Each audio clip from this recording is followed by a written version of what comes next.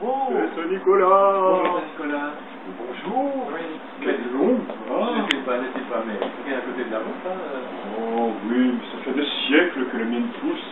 Ça fait combien de temps que vous n'avez pas de gouvernement chez vous euh? Oh, Saint-Nicolas ne suit plus ces affaires-là, vous savez. Mais t'es très inquiet pour la Belgique. Ah, oui, vous avez quelque chose alors. Jamais un gouvernement, c'est la différence. C'est magnifique. C'est Nicolas, vous aussi, vous allez vous raser la barbe? Non, non, non, ça ferait trop peur aux enfants. Oui, c'est certain. Oui, moi je m'étais promis de la, de la raser le jour où le gouvernement fêtait ses Donc euh, je pense que c'est aujourd'hui. Voilà, je pense que ma femme va être contente.